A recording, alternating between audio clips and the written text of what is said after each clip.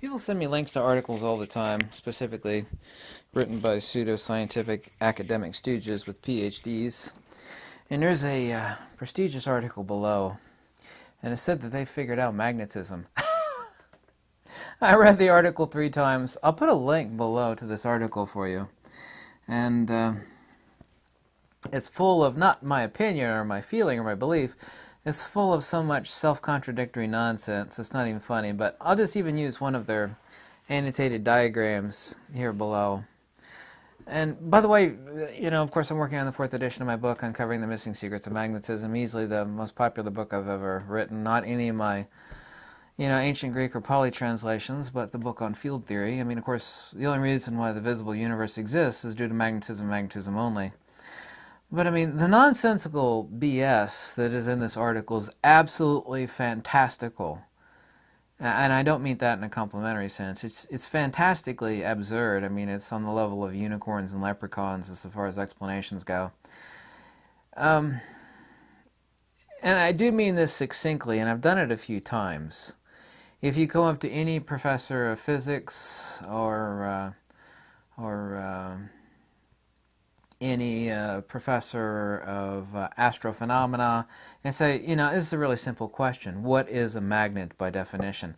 They actually can't give you an explanation. And I've said countless times in countless different videos, it's okay not to know the explanation or the answers to things, but it's succinctly accurate to state that no one has ever gone looking for the answers to something that they already think that they know the answers to.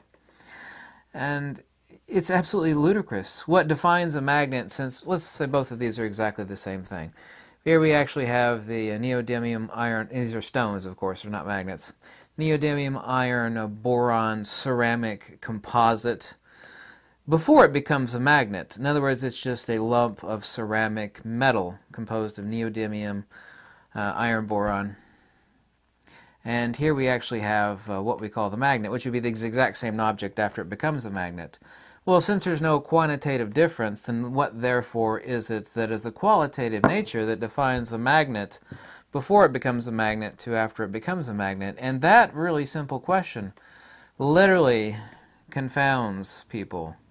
And it's okay, like I said, not to know the answer, but these scientists, and I do mean all of them essentially, they'll say, you, we know what a magnet is. Sure we do. It's like, are you sure? I've had people tell me, it's like, sure, we know what magnet, because they're in our cell phones and our computers. We know what defines a magnet. It's like, well, if you know what it is, then you should give me the answer for it. And they can't do it. Um, I would like you to check out this article below. This article actually made me feel good because I'm looking at this, you know, I'm always crushing my brain working on uh, this book, and I've got literally hundreds and hundreds of pages of notes to add to the fifth edition the fourth edition, excuse me, there has to be ultimately six editions of my book on magnetism. And I read this nonsensical garbage and it just makes me laugh. And right here in one of their diagrams it says an atom with no magnetic field. There's no such thing as something that has no magnetic field. Whether something is diamagnetic, paramagnetic, or ferromagnetic, everything is magnetic. I've shown that the most diamagnetic uh, element in the universe, bismuth, is magnetoreactive, but of course people don't understand what so-called magnetic attraction is and so-called, there's no such thing as magnetic attraction by the way, and so-called magnetic repulsion, but they also can't give you the definition of what defines a magnet. What defines a magnet is point source incommensurability. It's the exact same thing that distinguishes, a perfect analogy, thank you very much, saying that to myself, defines the difference between a 5 watt light bulb and a 5 watt laser. You, you say it to the common person that's not scientifically or logically minded and say, what's the difference? You know, 5 watt light bulb is pretty useless, and these are a lot brighter than 5 watts are illuminating my face. A 5 watt laser will burn a hole in your ass, right? It's dangerous. I've got a 5 watt blue laser. It's really friggin' dangerous. You know, that's dangerous, whereas a 5 watt light bulb is useless. Well, 5 watts is 5 watts, right? What's that point source incommensurability, the actual same distinguishment between the uh, the uh, qualitative nature, not the quantitative nature of a 5 watt laser versus a 5 watt light bulb, since they're both light and they're both emitting 5 watts, both have 5 watts of power that's uh, powering the illumination. What's the distinguishing uh, difference qualitatively? it's the exact same qualitative difference, the point source incommensurability that defines a magnet. People will say, well, the domains are aligned. Well, that's a description. Well, of course the domains are aligned in a magnet, but that is not denotative of what the nature of a magnet is. And I do mean this literally, not figuratively if you ask a scientist what is the hardcore definition of what a magnet is. This is before it becomes a magnet, and it is quantitatively 100% identical after it becomes a magnet. So therefore, the only distinction between this and this is a qualitative difference. What is that qualitative difference that defines a magnet? And they don't know. And it's okay not to know, but they go around telling everybody that they do, and they don't have the answer for that. They literally don't. It's not like I'm ignoring their answer or I'm saying the same thing in a different way. They don't know. There's no such thing as an atom with no magnetic field, like it says here in this academic uh, paper. It's ridiculous. Paramagnetic, diamagnetic, or uh, ferromagnetic makes no distinction. Everything is magnetoreactive.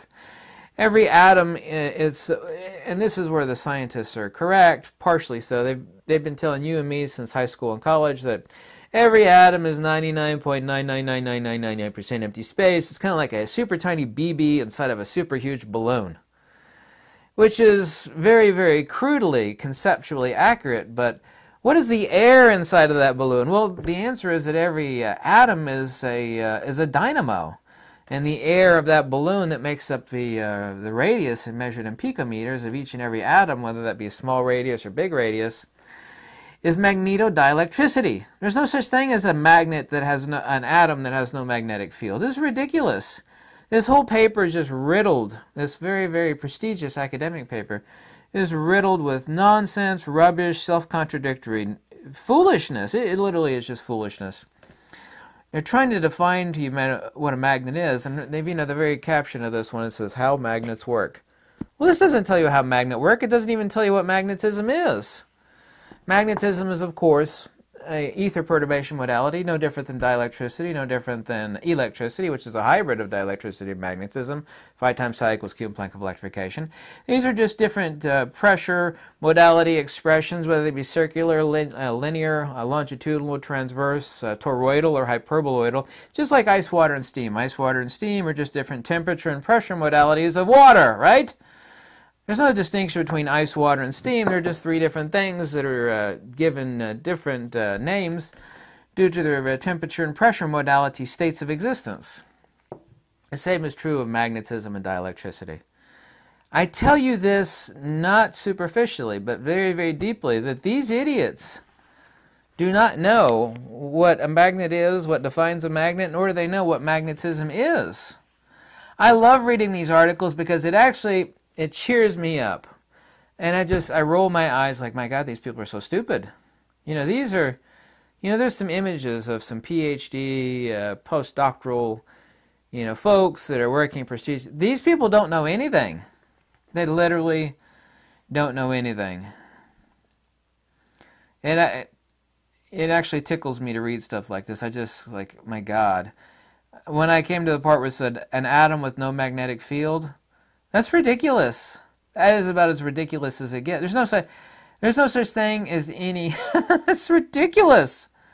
That's like saying a mass that has no mass. When you say an atom with no magnetic field, that's like saying a mass that has no mass. It's completely ridiculous. They'll talk about magnetic moments, but magnetic, mo magnetic moments are descriptive. They're not denotative, nor do they actually define what something is. Nor can these people define what is magnetism, what defines what a magnet is or is not.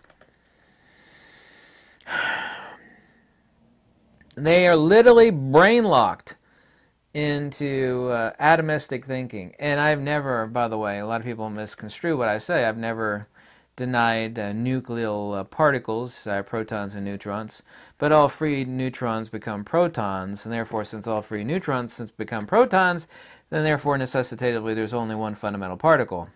And I am not the first person to say, there's a whole slew of the brightest minds who ever lived that said there's no such thing as an electron particle. Tesla said it, James Clerk Maxwell said it, said it Oliver Heaviside said it, he called it psychosis, people that believed in electron particles.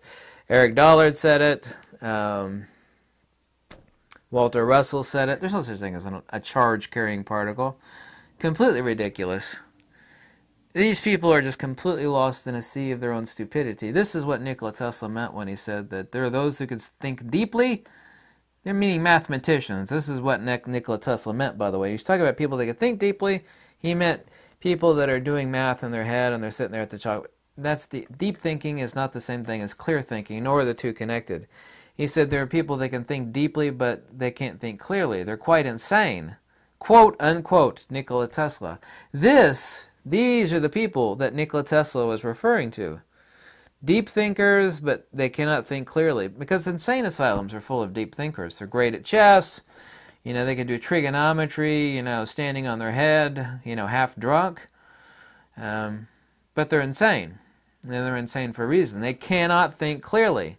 These are academic stooges that can't think clearly. They're mathematicians. They're not actual academics. They're academics of mathematics, but they're not scientists. The scientist in Aristotelian or Platonic sense is someone who quests for the answers to things, to truth, to wisdom, fundamentally at the basis of truth. And uh, check out this article below. If you could read it and see through their nonsense, uh, I hope you're as tickled by it as I am. I love debating these people. I will never shy away from a debate with these people, but they're afraid to debate. But I have come run across a few that were so full of themselves. They thought for sure they were going to beat this guy with tattoos. You know, uh, I got a PhD in physics. I'm going to thump this guy covered in tattoos. It's like, well, let's let's go there, girlfriend. Let's have a debate on that, on magnetism. You know, I'm altogether too happy to entertain you, entertain you on that one. Let's do it. Let's debate magnetism. Let us go there. Anyway, I love that article to the person that sent it to me. I hope you enjoyed it as well as I did. Lux Veritas.